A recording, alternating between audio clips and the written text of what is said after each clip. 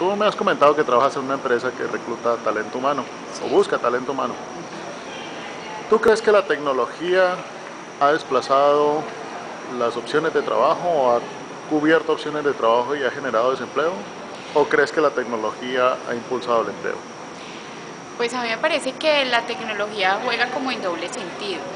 Cada vez las empresas buscan personas mucho más especializadas eh, que tengan la capacidad de operar la nueva tecnología que, que utilizan en sus empresas y ha desplazado a esos cargos o esos perfiles que son muy básicos en las organizaciones. Entonces hay trabajos que requieren personal básico, digamos operarios de un nivel bajo, pero cada vez se requiere que las personas se especialicen más en las nuevas tecnologías.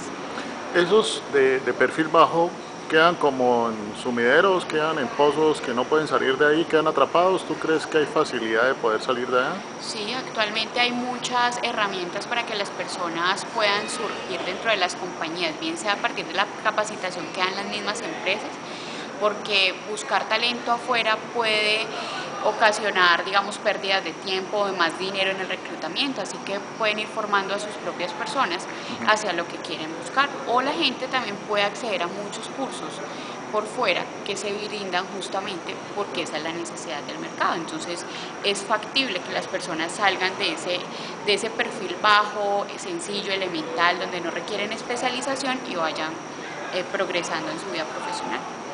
De acuerdo a tu experiencia, ¿cuál es la tendencia en, la, en las empresas?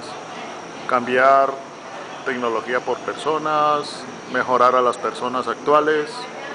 ¿Cómo ves tú?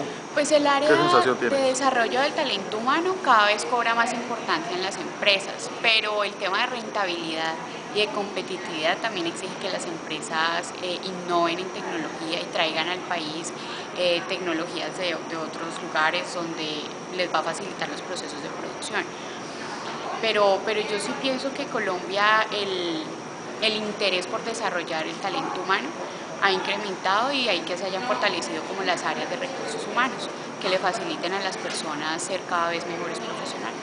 Ok, muchas gracias.